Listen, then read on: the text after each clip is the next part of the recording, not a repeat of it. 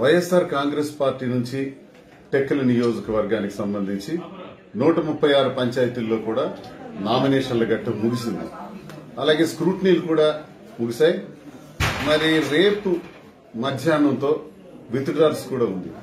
ఈ విత్డ్రాల్స్ సందర్భంగా నేను వైఎస్ఆర్ కాంగ్రెస్ పార్టీ నాయకులు కార్యకర్తలు అలాగే ఎన్నికల్లో పోటీ చేస్తున్నటువంటి అభ్యర్థిత్వాన్ని తో నామినేషన్ వేసినటువంటి అభ్యర్థులు. ముఖ్యంగా మనకి జగనన్న అందిస్తున్నటువంటి ఈ అద్భుతమైనటువంటి పరిపాలన. ప్రజలందరూ కూడా వేనోళ్ళ జగనన్నను కీర్తిస్తున్నటువంటి సమయం. ఈ సమయంలో టెక్కల నియోజకవర్గంలో ఈ పంచాయతీ ఎన్నికల్లో అఖండ మెజార్టీతో మనం సుమారు నూట ముప్పై ఆరు పంచాయతీల్లో ఓ నూట ఇరవై పంచాయతీలకు పైచిలకు స- మనం గెలుచుకోబోతున్నాం. మిగతా పంచాయతీలు కూడా గెలవడానికి అన్ని సదవకాశాలు ఉన్నాయి ఇంక్లూడింగ్ నిమ్మాడ. నిమ్మాడ పంచాయతీని కూడా మనం వైకాపా కైవసం చేసుకోబోతున్నాం. ఇటువంటి పరిస్థితుల్లో నేను అభ్యర్థులుగా నామినేషన్లు వేసిన వాళ్ళకి నా కోరిక మరి మన అధిష్టానం నిర్ణయం మేరకు కూడా నేను ఈ- మా ఈ విషయాన్ని తెలియజేస్తున్నాను.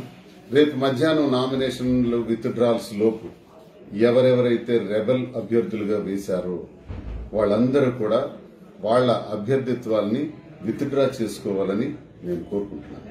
ఎందుకంటే మనం విత్డ్రా చేసుకోకపోతే ఎక్కువ అభ్యర్థిత్వాలు ఉంటే అది టీడీపీకి అడ్వాంటేజ్ అయ్యే అవకాశం ఉంటుంది.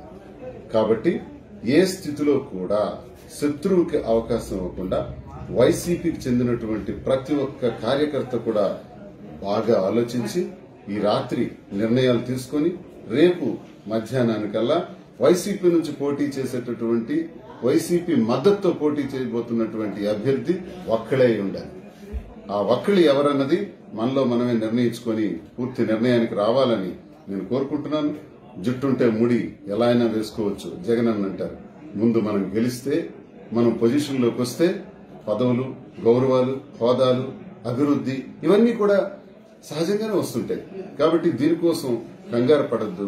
ఎవరు కూడా నిరాశపడొద్దు నిస్పృహలకు చెందొద్దు. ఈ ఎన్నిక ఏదో ప్రామ ఈ ఎన్నిక మాత్రమే జీవితంలో ఆఖరిలా ప్రతి ఒక్కరు కూడా దీన్ని అంతా పరాకాష్ఠకి వెళ్ళిపోవద్దు.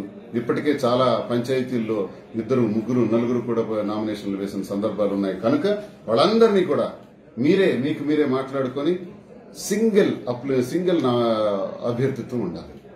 ఇంకెక్కడ కూడా ఉండకూడదని నేను అందరికీ మనస వాచ కర్మైన కోరుకుంటున్నాను.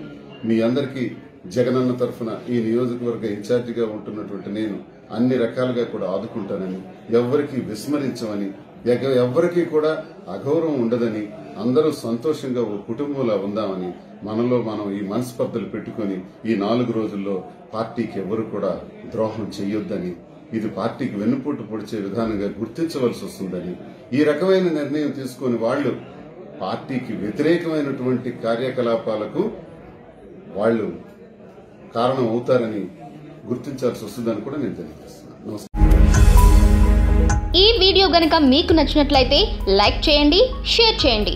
మరిన్ని వీడియోస్ కోసం మా ఛానల్ను సబ్స్క్రైబ్ చేయండి.